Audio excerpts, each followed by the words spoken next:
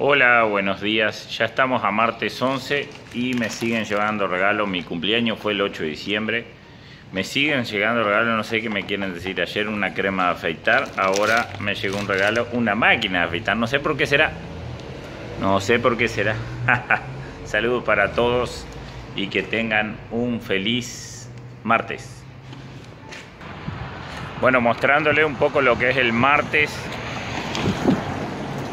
por supuesto la bandera flameando a full y acá están cayendo unas gotitas. Está empezando a llover en Paysandú, Uruguay.